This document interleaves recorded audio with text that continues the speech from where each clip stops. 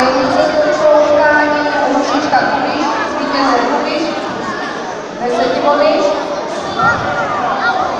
nastoupí Rakula Daniel junior Brno a Radek Spartak Třebíč. Datami 1 Rakula Daniel a Nekváta Radek. Se připraví